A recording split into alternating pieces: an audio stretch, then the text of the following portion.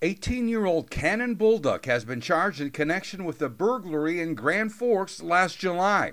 14 firearms, pistols, shotguns, and rifles, along with baseball cards, were stolen from a home on the 1900 block of Dyke Avenue in Grand Forks with a total value of $4,000. Surveillance video from the nearby railroad yard, along with information from the suspect's mother, led to Bolduc's arrest.